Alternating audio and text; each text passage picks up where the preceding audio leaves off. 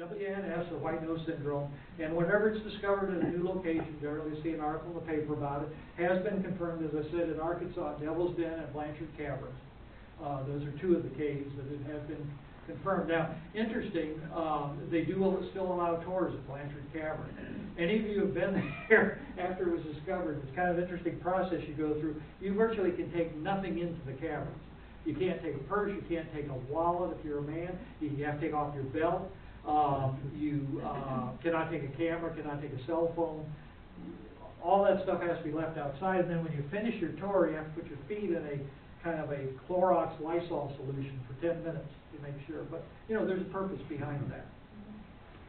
Uh, this is at Cave Mountain, any of you are familiar with Cave Mountain, we have about three hundred and forty thousand gray and Indiana bats, which are in, are our endangered bats in Arkansas, in, uh, the limestone area. And, uh, they got a ten-foot iron fence, as you can see, around that whole cave area to keep you out. Uh, not all the caves are, are that well, uh, protected, but, uh, this one on Cave Mountain, Boxley Valley, they have that, uh, around that cave, and it's been there for several years. Still allows the caves, uh, the bats are inside the cave to come out and go in, but no, uh, no human activity. All right, I gotta hurry up a little bit, I'm getting to my hour. All right, next thing I wanna talk to you about, uh, is Lake Jackson. And any of you are familiar with Lake Jackson, you probably are. It's a very nice lake, large lake in, um, uh, northern Tallahassee, Florida.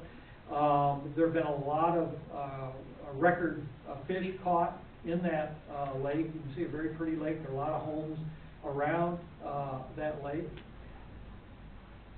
Very gorgeous fishing spot, uh, that's what Lake Jackson looked like in nineteen ninety-nine. This is all Lake Jackson. That's what happened to it. Somebody pulled the plug. All right, just like a bathtub, right here. It completely emptied, right down into that little hole, or big hole, okay? Happens about every 10, 15 or so years Lake Jackson. They were not, I mean, I'd like to have a home there, you know, and all of a sudden, there- you don't have a lake. Uh, just completely opens up and disappears. Uh, and this is kind of a, a cross-section, um, with a, it's a quarter sink is the, is the culprit. It's a sinkhole, and here, would- here would be the lake up here, and it just goes down. That opens up, and it goes down, and and it just disappears, just like a bathtub having its plug full. Um, and what do they have to do? Well, they have to plug up the hole. It doesn't do it naturally, you know, they have to put this grout and all, everything they can bring into, uh, to cover up the hole, and eventually it works, and that was, uh, Lake Jackson about four years ago, when I was there. So that was from nineteen ninety-nine until about, uh, about two thousand and nine, took about ten years, you know, for it to, and it'll stay like that for a while, and then it will disappear again, you know? But that's what happens, uh, again, in a, uh, in a karst, in a, um, uh, limestone environment, because it is always disintegrating, and, uh, even though they plug a hole, that limestone around it will continue to disintegrate, and it'll open up again. How fast did it drain? Pretty fast, as you can imagine, uh, I mean, it, uh, I'm trying to think of the time period, but it was like within three months, something like that, it completely, completely drained. You Get a lot of free fish then? Yeah, you know, you see what the bottom is, is like. Yeah, yeah. All right, a spring. Uh, Blue Spring, which is one of the, uh, more interesting springs we have in this area outside of, uh, Eureka Springs, uh, is a natural spring, and again, this is something that is caused by that karst environment. Remember I showed you that picture? You have water coming down through the limestone, eventually it hits, uh, rock that is not limestone that it can't go through, and so what it does, it starts, it's flowing. Well, it'll flow, keep flowing until it hits another type of rock that it can't go through, and what does it do? It comes back up to the surface. That's kind of a simple explanation, if you follow me, of what forms a spring. Uh, now, Blue Spring, is the spring itself is right here. This is the head, headwaters, what I call the spring, it goes way down. Um, and, uh, Blue Spring is, let's see, I got the statistic here, thirty-eight million gallons of water a day. Thirty-eight million gallons of water come up from the ground a day, uh, right through here, and it goes out into the White River. So it, it's, it flows basically from back here, through here, and just clear water. It's kinda hard to see these pictures, but you can just see down to the bottom of the water. And then it has a little dam here, it flows over, and that's what goes out to the White River. That's Blue Springs. The mouth of that cave is, um, the mouth of the cave which the water comes from, they've set divers down there, is about three feet wide. And they have explored down to two hundred and eighteen feet. They anticipate it goes down at least five hundred. Hmm. You know, so it's a deep, deep spring underground there at, uh, at Blue Spring. Another spring we have, uh, we have several, uh, this in Missouri, Roaring River State Park, again, you might know one of my favorite state parks, but the spring actually is way back in here, uh, but this is what, uh, you know, causes this lake, where they have the trout hatchery, and then Roaring River, you know, comes right out of, of spring, spring water. Fascinating place. Mammoth Springs, you ever been to Mammoth Springs? It's north of Hardy on the Missouri border over on the eastern part of the state. Uh, they have a spring there, of course, and there's the spring. It discharges eighty feet, uh, below the water surface, nine million gallons of water per hour. Now, remember, that other spring, Blue Spring, I said, was, what, thirty-eight million gallons of water a day. This is nine million gallons of water. And you can see, it is pouring out of there. You know, this is where it's overflowing. The spring itself is right in this area. Uh, and it also creates a, uh, a river, and I forget the name. The it. Spring River. The Spring River, yeah, Spring River. Very good, thank you. That's all I got, it discharges into the Spring River. All right. This is another spring, and this spring is over two thousand years old. This was in Megiddo, Israel. I was fascinated by this. This is probably about twenty feet by about ten feet, uh, and it's water. The water's about two feet deep. You can see how clear it is. Uh, you can't even tell. But that's been around for at least two to three thousand years that they know about. You go down this deep, steep stairway to, uh, to get to it underground, you can see the, the limestone covering all above it. Fascinating. All right, two more things, but this will be quick. One is disappearing, uh, rivers, losing streams, they, they have different names, probably losing stream is the most popular. And you can see why they call it that. You got this body of water, that's a creek or a stream or a river, probably, you know, caused by heavy rain recently, and then it just, it goes down into this rock and literally it disappears. You know, here's another example. You have this long water body here and it's dropping down into here, and then it doesn't flow out here. It just keeps going down into that limestone rock. Now, we have one near us here, uh, out at uh, Hobbs State Park, Little Clifty Creek, um, by the Van Winkle, uh, historic area. Um, you can see, and these aren't real good pictures, but as best I can come up with, you can see here's part of the Clif- Clifty Creek coming alongside these rocks, and then it just disappears. You don't see it along that riverbed at all. Um, and this is, again, just the riverbed toward this bridge that crosses the creek. And here's where it comes out again. So it completely goes underground for a period of time and then comes out. That's what a losing stream is.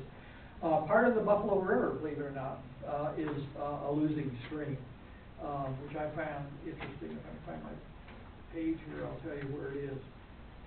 Anyway, before I get to that, Montezuma Well, remember I showed you, um, that, uh, early, uh, Indian dwelling by Phoenix? Uh, this is just down the road called Montezuma Well, again in Phoenix, Arizona. Um, some real early, you know, Indian or native people, uh, dwelling, um, in that limestone. This is out in the middle of a desert, all right, middle of a desert. And you talk about a, uh, you know, a losing, uh, a losing stream. Um, it's a sink. It's a kind of a funnel-shaped sink, uh, about an hour out of, uh, out of Phoenix. The pool of water is about fifty-five feet deep, so that is very deep. Um, the well is about a million and a half gallons of water a day that creates this little sink or, uh, lake. Um, and there are, th- they know there are three vents that cause the spring water to come into the, uh, the lake. It maintains an average temperature of seventy-six degrees year-round. But what's interesting about it is, and you might guess where, the water flows out of this area. And where does it flow out? You can see, I mean, here's all the, the, the only vegetation, so it flows out right through here.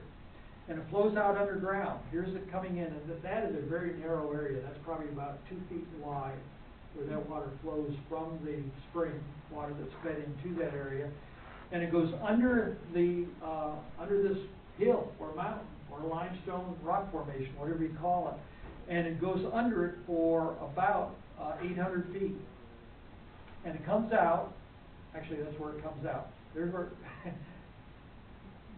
there's where it goes in, there's where it comes out. And it comes out into an area that was, for, uh, runs for about a mile. And it was used by some of the early uh, of the area for farming, used as an irrigation source, but that is all spring water, all natural, natural spring water. Okay, the last thing we're gonna talk about, blue holes. What's a blue hole? Have you ever been up in an airplane flying generally, you know, to the Bahamas or the eastern coast of Florida, uh, and you look out, you might see something like that. Uh, this, of course, is, you know, nothing but a big slab of limestone. And there are often sinkholes in that limestone. When it, when you have a sinkhole, that's what it forms. And they're called blue holes, very deep caverns that have been caused by the action of the, of the water. Uh, this is a different one.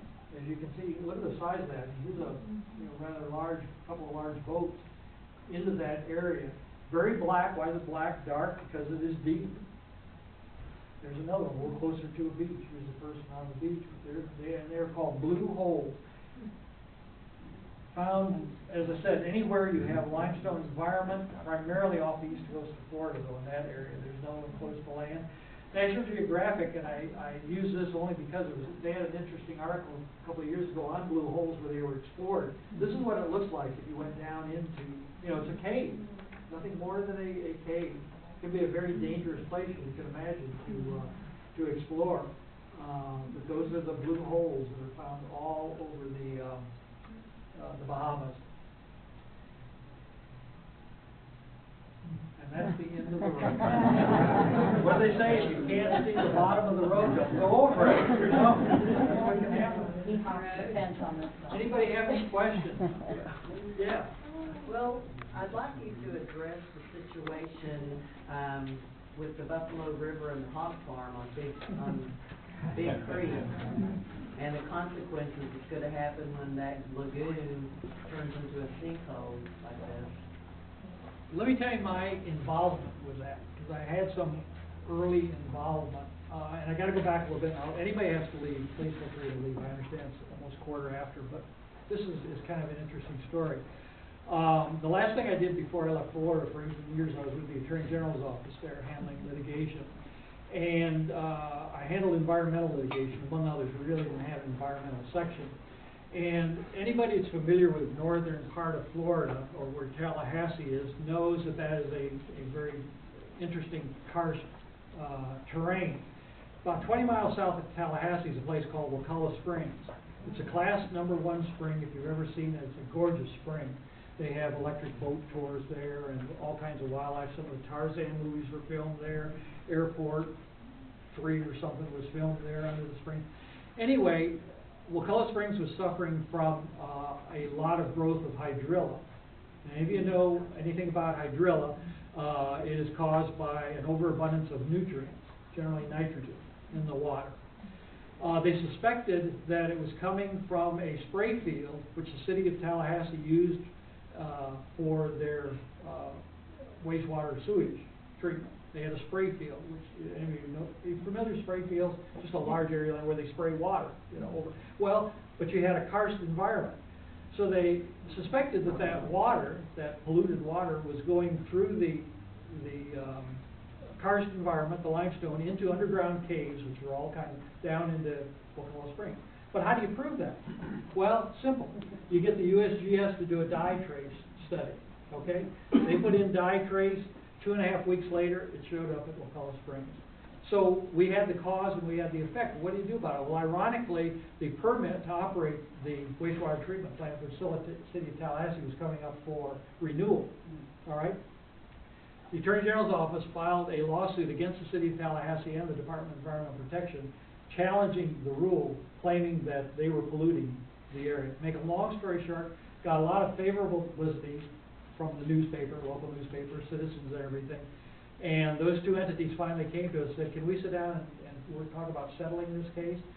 They agreed at that time, and that was just before I left uh, Florida in two thousand and eight, to a hundred and sixty dollar, hundred and sixty million dollar advanced wastewater treatment upgrade. Uh, over six years, to bring the nitrogen from twelve parts per billion, which it was, down to three parts per billion. Okay? So, when this hog farm thing started coming up, I had somebody contact me, and I said, you know, you're talking about the permit, and whether it should have been issued, and whether notice was given, and whether people had a right, forget about it, it's already been issued.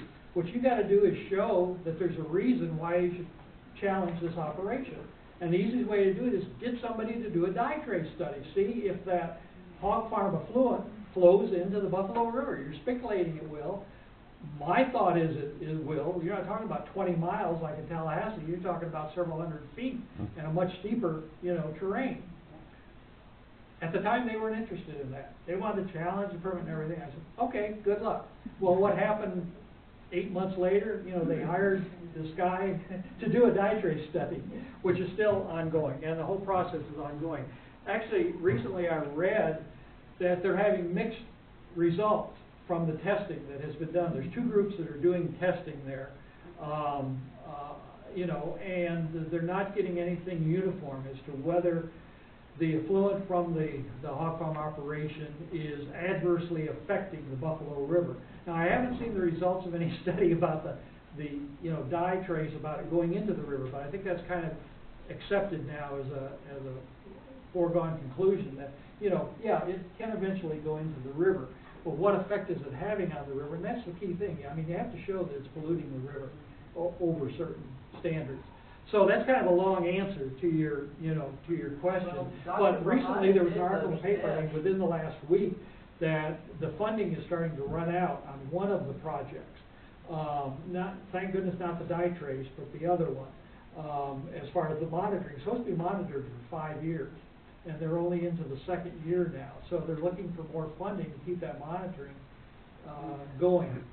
Well, and you know, the court case was judged on, uh, about a month or two ago now, that, uh, the ADEQ did not do their job at all. Yeah.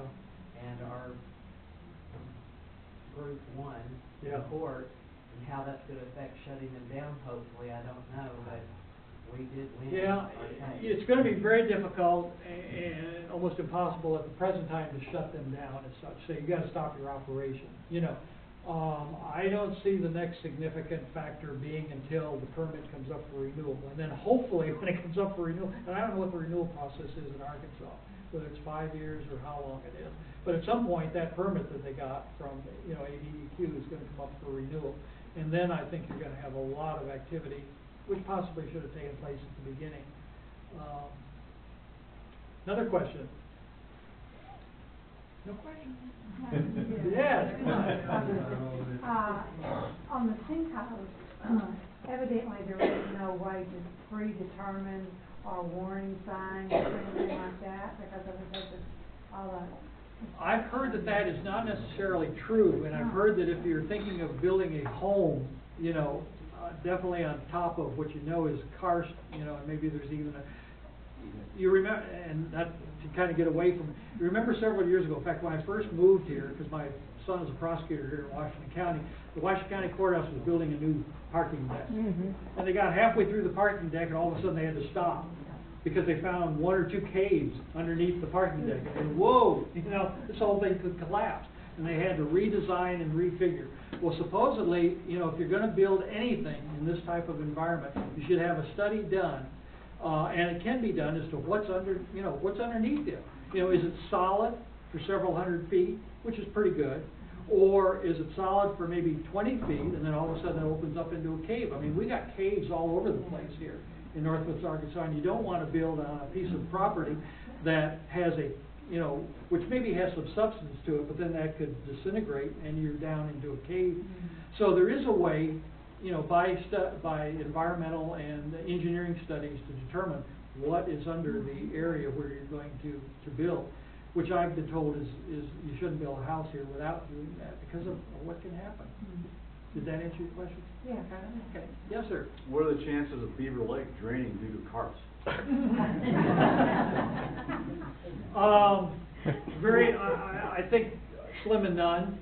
Uh, I mean, you think of what, the way Beaver Lake was constructed, you know, Beaver, you know, that, the history of Beaver Lake is underneath the lake. Um, the, the roads that people rode their horses on and their carriages and got around were, you know, it was, it was solid ground for the most part underneath the, the Beaver Lake, but with the White River impacting it, uh, big time. And I'm not aware of anybody coming up with, hey, a gigantic sinkhole, you know, in this location. On Beaver Lake, it's possible, certainly is possible. Um, but you don't have the same situation, at least it hasn't been discovered, that you had with Lake Jackson, where over a period of years, it has drained several times. You know, they've never had that problem with, with Beaver Lake. And I would think it would show up by now. Beaver Lake was finished in nineteen sixty-six. That's when the lake was filled up. We started construction in 1960. 1966 it was finished. They've never had a problem with, you know, water draining out in any area.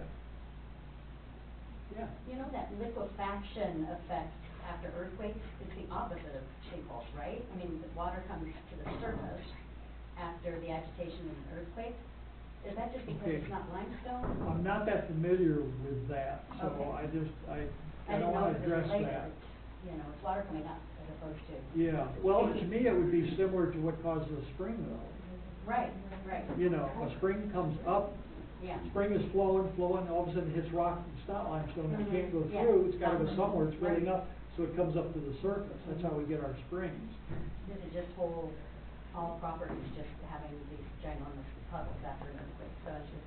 Yeah, okay. I'm just not familiar with that, Probably not sorry. porous material. Anybody else? Yes. Uh, you were talking about Ma- Mammoth Spring.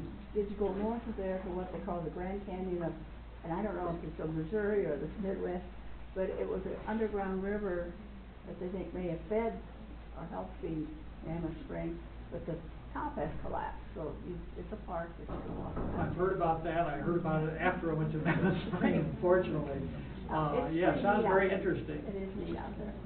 Yeah, they have a lot, in fact, I had a map on my PowerPoint, and I took it out because I just didn't care that much for it, I probably should have left it in. But it shows all of the, um, um, sinkholes and a lot of disappearing streams in Missouri, and there's a lot of them. There's a lot, lot more than in Arkansas, yeah. And because that's, you know, that's where the main body of the Ozarks, uh, are. Yes, ma'am. If you have a first water table and you have a drought period in which the, you know, the water level drops down, is there a chance of a sinkhole developing there in that area? Sure, there's always a chance when you lose that support, you know, from the, from the ground. That's what, when you have plenty of water, the water's holding up, you know, and, and a lot of power in, in water. Uh, but when that starts dropping, depending on what's on top of it, you know, could cause a, uh, could cause a sinkhole, yeah. And depending on what kind of water is dropping into the air. If you have a depressed area, like I showed you that one sinkhole in Hobbs State Park, where you just tell that when it rains, that water just comes right down, you know, into the mountain, it's gonna accumulate in that area. That's what you don't want. You don't want that kind of accumulation of, of water. If the water drains off into another area, then you're probably all right. But if it's accumulating into an area, it can, yeah, remember, I call this disappearing ground, and that's what happens. It just gives way. Yeah, the, uh, there's an area, I live in an area behind University Stadium, but one of the branches of Buncombe Hill, and that's the first water table. And the water level has been dropping, um, for the last several years. And, uh, I'm just wondering. Could be an indication of that, of that, that water's going somewhere. It's going Yeah, somewhere. Yeah, it's going somewhere. Uh, and, and you're losing your support when it is, you know, draining away like that. Any other questions? Well, thank you all very much, I really enjoyed this again, uh. you know, a lot of- a lot of what's gonna in those, um, uh, handouts out there. Think about the Master Naturalist Program also. Like I said, it starts February twenty-first. If you're interested, uh, you can sign up, uh, online. Fascinating course, it covers everything, uh, that you're interested, you know, not everybody's interested in the same thing. I'm not that interested in birds. I like learning about them, but I am certainly not a birder.